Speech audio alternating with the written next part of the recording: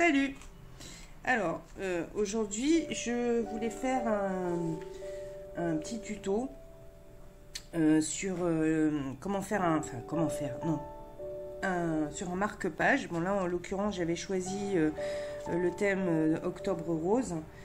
Bon, malheureusement, par manque de temps, j'ai pas pu participer au concours. Bon, je vous mettrai quand même le lien au cas où, mais bon, c'est passé. Que je crois que c'est euh, le, c'était hier, je crois, le dépôt des, des marque-pages. Enfin bref, peu importe. Donc, du coup, euh, je m'étais lancée dans la confection d'un, marque-page en payotte. Et euh, je me suis rendu compte que euh, peut-être comme ça c'était pas euh, c'était pas finalisé quoi parce que euh, je voulais faire une déco pour attacher pour mettre en marque-page. Et au final je me suis ravisée et je me suis dit de peut-être faire une pointe ici et, et faire une petite déco avec un pompon au niveau de la pointe et puis peut-être en haut une euh, comment une lanière ou un fil ou des perles je sais pas encore. Enfin bref peu importe. Donc là-dessus euh, mon marque-page quand je l'ai tissé je l'ai tissé euh, vous savez comme le bangle que je vous avais montré là. Je l'avais tissé en fait dans la largeur et pas dans la longueur, de manière à ce qu'on puisse avoir un peyote pair et avoir ici un impair, puisqu'on fait un nombre impair de, perles. Et euh, du coup, quand euh, il faut faire une pointe, ben, on n'est plus dans du peyote, on est sur du brick stitch. Et euh, je me suis dit que ça pourrait être intéressant de faire juste un, petit, un petit tuto pour, pour montrer en fait. Après, il n'y a rien de compliqué, hein, on est d'accord. Mais je trouvais ça sympa. Et euh, en même temps, ben, je vous partagerai mon, mon marque-page. Je- pense que d'ici que j'aurai mis la vidéo en ligne, j'aurai eu le temps euh, de, euh, de prévoir toutes les, étapes. La première qui est celle-ci et la deuxième avec la pointe. Donc, pour la pointe, j'avais. Je me suis imprimé la petite pointe. Donc, en fait, on va travailler là-dessus. Alors, à savoir que en haut, là, mon. Ici, c'est ici. C'est-à-dire qu'on va venir entre les deux perles qui sont là. Vous voyez ici, là. Parce que ça, en fait, c'est ça qui commence. En fait, la pointe, elle commence déjà ici. Puisqu'on a une perle en moins par rapport à, la ligne la plus, euh, la plus longue. Et donc, du coup, cette partie-là va venir ici, donc entre les deux. Alors, ça, c'est le petit dessin que j'ai fait euh, pour aller avec. Parce que c'est vrai que là, quand on regarde comme ça, on pourrait supposer que c'est un c'est pour la fête des mères euh, ou j'en sais rien quoi. Et du coup, je me suis dit quand même, ce serait bien de rajouter euh, en faisant ma pointe, tant qu'à faire, on rajoute octobre. Voilà. là.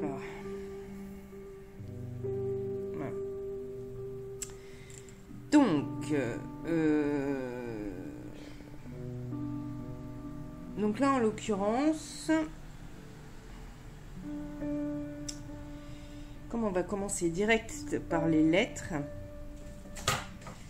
ici là, on va commencer en fait par les lettres. Donc il faut absolument qu'on se mette dans le bon sens pour pouvoir. euh, si je commence par là, il faut que je commence ici. Si je me mets là, il faut que je commence par là. Parce que là, c'est très important. Bon, si on n'avait pas eu de, lettres, on commençait là où on voulait, on faisait comme on voulait, puisque le, cœur, il est euh, réversible. hein, un coup à droite, un coup à gauche, on s'en fout, quoi. Mais là, en l'occurrence, comme j'ai mis les lettres, il faut absolument que on tourne, on soit dans le bon sens. Alors, allons-y.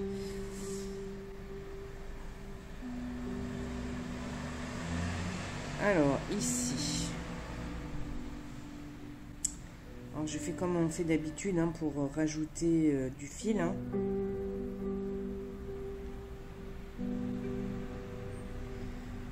Là, en fait, je passe à côté.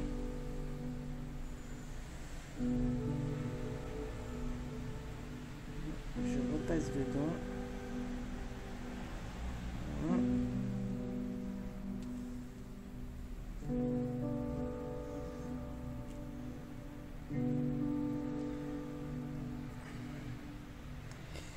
Euh, Sweetie, je pense que je vais te mettre dans ton panier parce que là, c'est juste pas possible. Voilà, ici.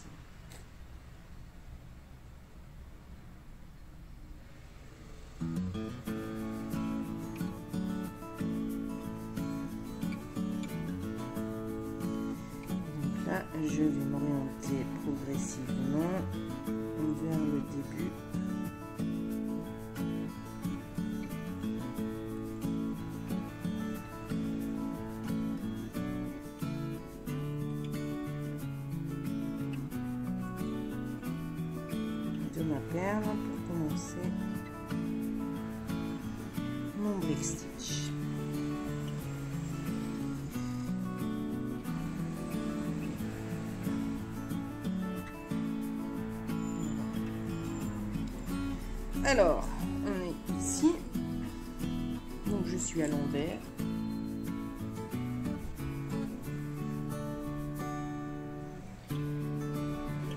Je suis à l'envers. Donc on va commencer par ce côté-là. Donc on va compter 1, 2, 3, 4, 5, 6, 7. 7 blanches. Et après on fera les 3 roses. Alors, donc ici 2. Alors vous voyez en fait on a tissé en, en. Mais dans l'absolu, chaque ligne ici, donc chaque ligne qui sont là, dans l'absolu, elles sont euh, confectionnées en briques. Alors, non, c'était pas ça. J'aime pas faire comme ça parce que sinon ça se lève et j'aime pas du tout. J'aime bien travailler quand je fais mon brick stitch et que j'ajoute deux perles et que je ne vais pas ici là, que je mets pas une perle comme ici. J'aime pas commencer là et venir au deuxième parce que je trouve que la perle qui est à droite, la plus à droite, elle se lève. Quand je fais mon brick stitch, je déteste ça. J'aime mieux autant partir dans cette perle là, passer dans le premier entre deux qu'il y a à côté.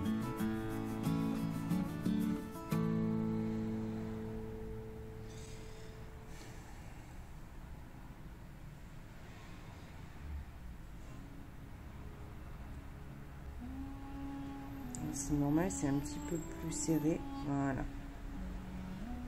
Donc en fait, je passe bien entre les deux qui sont là. Et de cette façon, j'arrive ici. Et je trouve que là, c'est quand même mieux. Alors.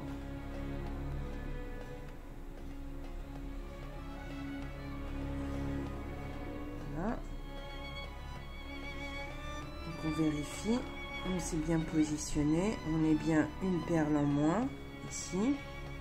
On a bien notre escalier, une, deux, trois. Donc on va continuer. Donc on a dit combien de perles? 7. Donc là c'est pareil. On va venir ici.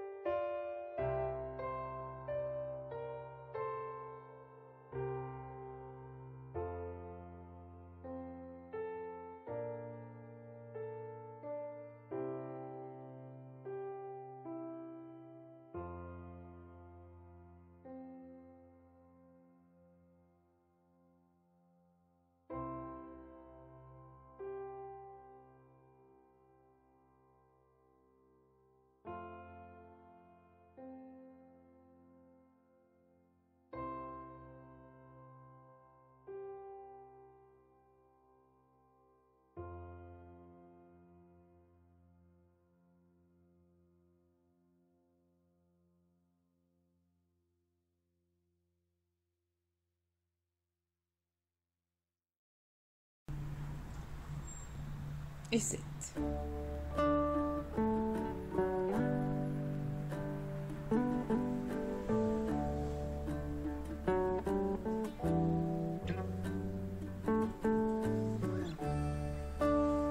Et ok. Voilà. Ben maintenant, on passe de l'autre côté. Alors, de l'autre côté, on va avoir le même souci. C'est-à-dire qu'en fait, enfin le même souci pour moi, hein, je parle. Après, si vous, vous avez l'habitude de prendre vos deux perles et d'aller sur le deuxième, euh, la deuxième encoche qui est ici, pourquoi pas? Moi perso, non, j'aime pas. Mais bon. Alors pour celles qui seraient un peu comme moi, ce que je fais à ce moment-là, c'est que je passe sous mes deux fils, euh, sous mes deux perles, donc je passe sous le fil, ce qui fait une espèce de nœud en fait. On utilise aussi cette technique quand on fait le, on appelle ça, euh, le impair. Ce qui évite de faire tout l'embériglio euh, qu'il y a à côté. Et je repasse dans ma perle. Comme j'ai fait un espèce de nœud ici, je peux revenir dans ma perle sans que mon fil vienne avec et que je perde ma perle. Et à ce moment-là, je reviens à côté, puisqu'on va commencer par celle-là fait, à chaque début de tissage, on va, enfin, je, fais de cette manière, de façon à prendre donc mes deux perles. Je viens dans le même inter... En fait, je viens toujours au même endroit. Parce qu'en fait, je sais qu'il y a des, euh, tutos qui ont été présentés comme ça. Moi, je sais que j'avais appris le brick stitch de cette façon. Et, euh, et en fait, j'aime pas du tout parce que les perles, elles se lèvent j'ai trouvé cette technique, mais bon, qui, euh, qui, m'est propre. Hein, je veux dire, après, euh, il n'y a aucune obligation. Vous faites comme vous savez faire, pour celles qui, savent. Hein. Et ici, on vient ici. Voilà. Alors. Pour cette deuxième ligne, on n'est que sur du blanc. Blanc, blanc, blanc.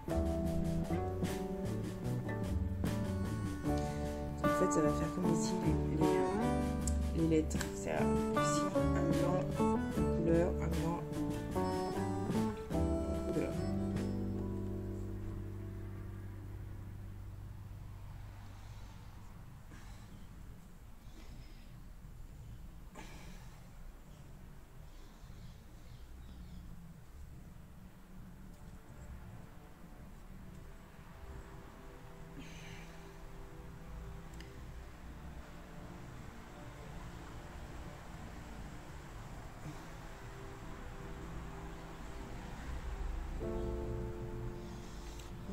Ben, je vous laisse terminer et on se retrouve quand la pointe est terminée.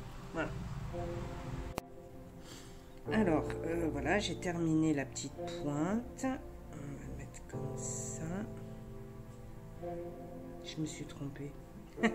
Elle est bonne celle-là. J'ai mis un i au lieu de mettre euh, un t. Bon, c'est pas grave. Ah. Je devais avoir la tête ailleurs, comme d'habitude. Bon, bref. Alors, maintenant, on va faire la finalité. Donc, euh, euh, donc déjà, je vais prendre une perle. Alors là, bien entendu, étant donné qu'on est en brick stitch, forcément, elle ne sera pas levée. Hein. Mais nous, en l'occurrence, c'est pas gênant. Parce que moi, je vais me servir du fait qu'elle soit dans l'autre sens, la perle, pour y faire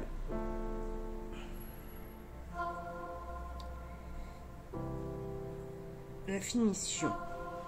Alors, j'ai pris des petites perles de quartz rose. Je me suis dit que c'était plus... Euh, c'est du rose fumé, on va dire. Donc à la limite, euh, c'est moins flashy que si j'avais utilisé vraiment du rose. En plus, il y a un mélange de blanc là, c'est pas mal. Alors, on est sur du blanc, donc on va prendre on va se faire un dégradé. Hop.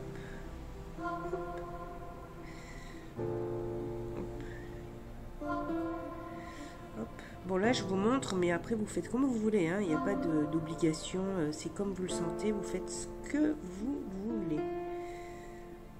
Euh, alors à la limite, c'est vrai que ça aurait été... Maintenant que j'ai fini, je me j'imagine que bon, j'ai, comment dire, je manque de temps. Euh, mais je pense que là en haut, on pourrait faire aussi une autre pointe et peut-être faire la décoration au lieu de la faire en bas, la faire en haut en fait. Donc moi je vous la montre en bas, mais je, pense que le plus utile aurait été plutôt de la faire en haut et de faire la pointe en haut. D'avoir les deux pointes, par exemple ici, de continuer avec un cœur ou même comme celui-là, ou même de mettre octobre en haut en fait. Ça aurait été peut-être plus judicieux. Je suis partie en bas parce que je voulais une pointe en bas, mais euh, dans l'absolu, euh, maintenant qu'elle est terminée, dans ces cas-là, on aurait dû en faire une autre en haut. Et peut-être faire ce que je vais faire là, la déco pour faire tenir en fait le marque-page dans, euh, dans, le livre. Parce que le but il est là aussi. C'est de faire tenir euh, dans, le livre quoi.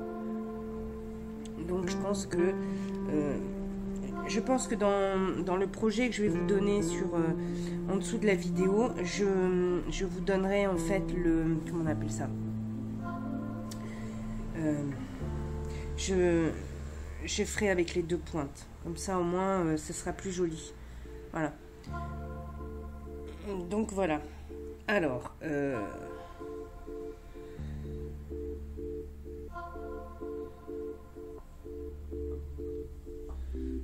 si j'en mets deux comme ça, c'est sympa ou pas? Ça a l'air.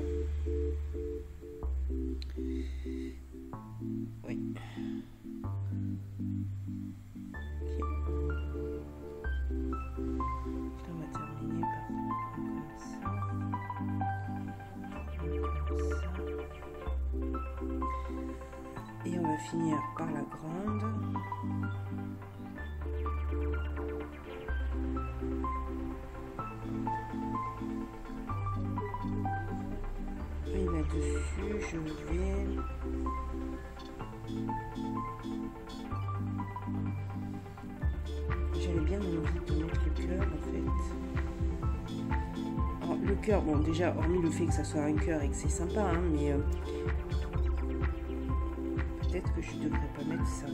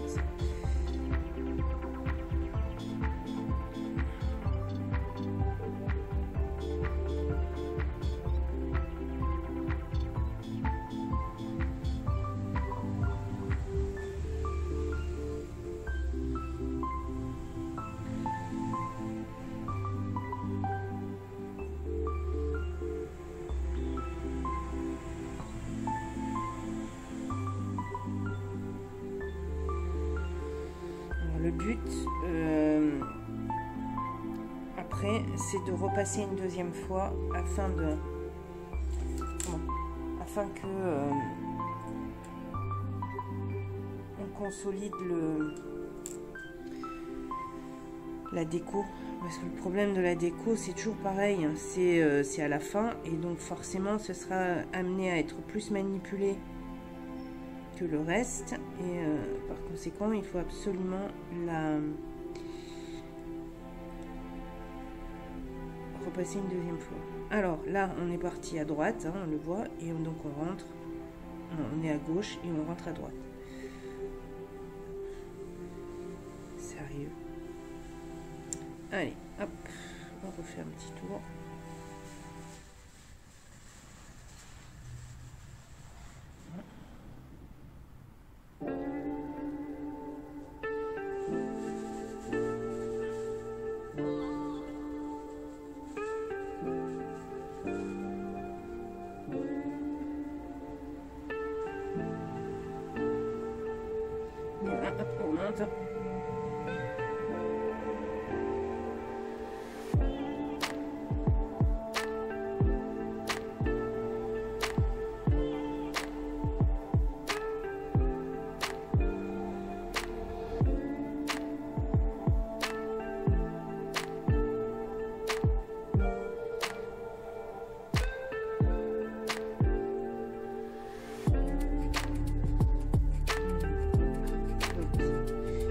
Pas possible. En même temps, j'ai une grande, j'ai une grande aiguille. Il me faudrait une plus petite. Il me faudrait même celle avec le chat ouvert.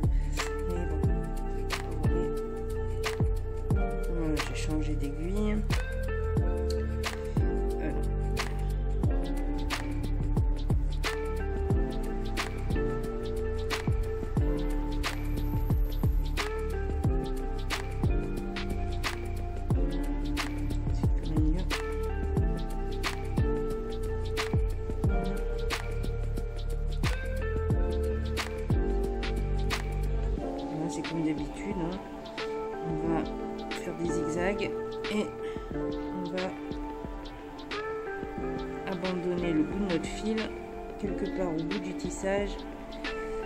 Si j'arrive,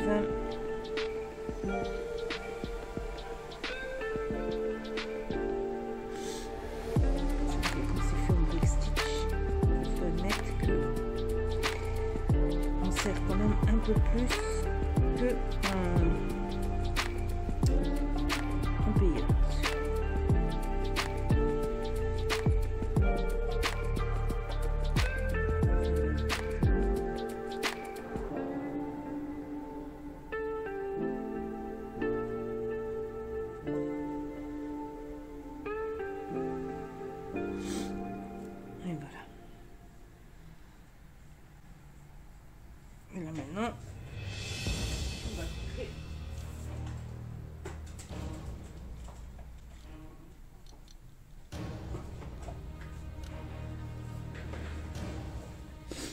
On va couper tous nos fils.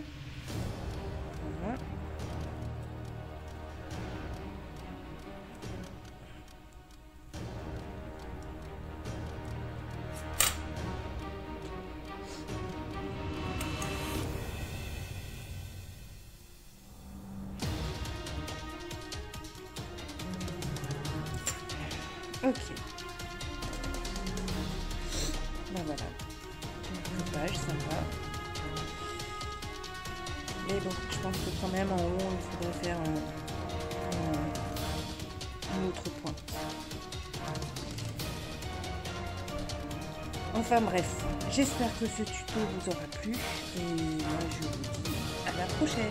Salut